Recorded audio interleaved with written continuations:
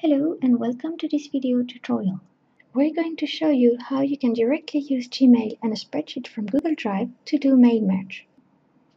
First, open a spreadsheet and fill the column headers with labels like the addresses and names of the recipients or any other information you want to put in your email.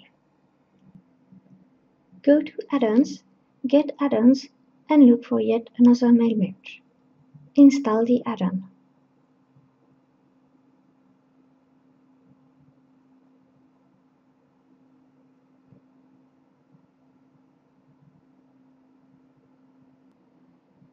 Indicate the name of the label of your recipient's column.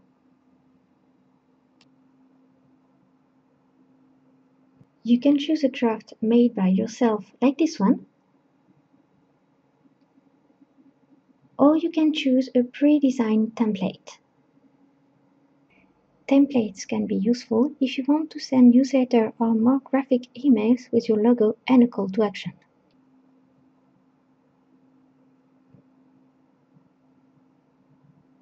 Make sure to leave the recipient's field empty.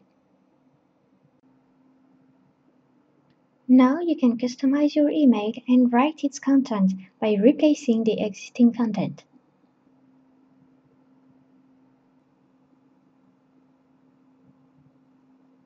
In order to add any information from your spreadsheet, just type the less than symbols, write the label of a specific column, and close the greater than symbols.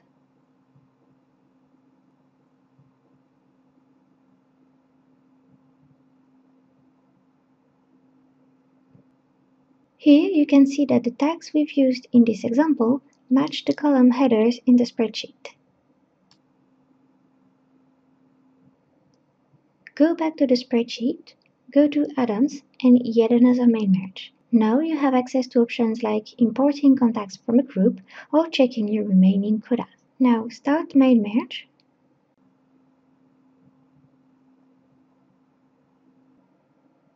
And now choose your template. You can check or uncheck the option to track emails opened and send yourself a test mail just to see if everything's okay.